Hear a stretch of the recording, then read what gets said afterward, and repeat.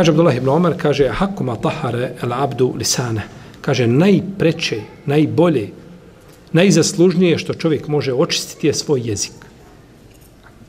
Tijelo i odjeća sve pohvalno, ali najbitnije je da je jezik čist čovjekov, da ne govori osim šta. Lijepo. Kaže Abdullah ibn Amr ibn As radijallahu anhuma, govorili su, ostavi ono za što nisi vezan i ne govori ono što te se ne tiče. I kaže, čuvaj svoj jezik kao što čuvaš svoje dirheme. Čuvaj svoj jezik kao što čuvaš svoje dirheme. Kaže Rabija ibn Huthaim, kaže u manji riječi osim u devet slučajeva.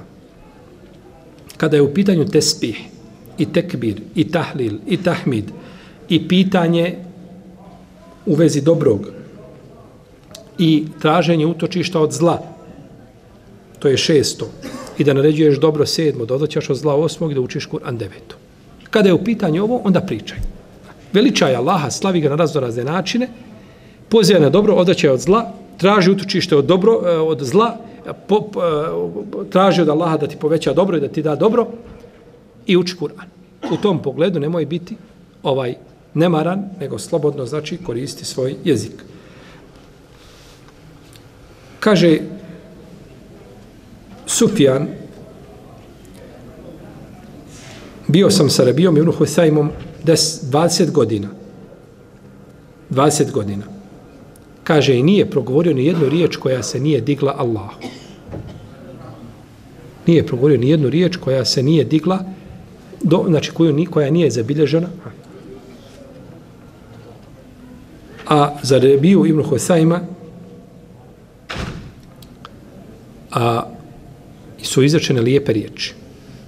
Čak se kaže da je za njega Abdullah ibn Mesaud rekao kaže da te vidi poslanik sa osvijem zavolio biti.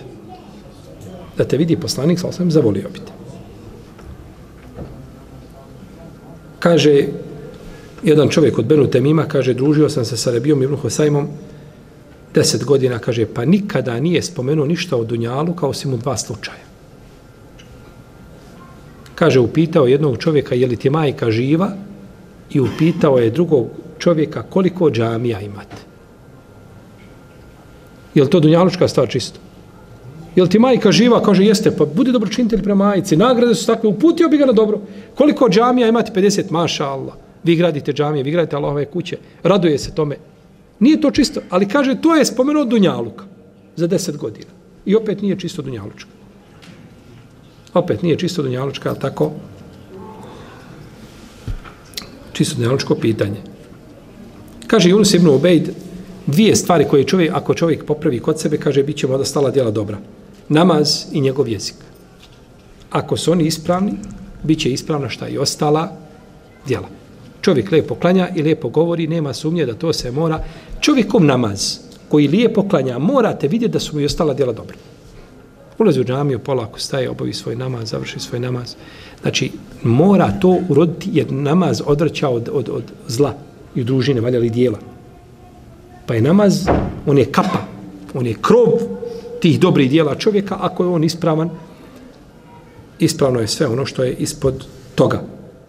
Allahu, Allahu, Allahu, Allah.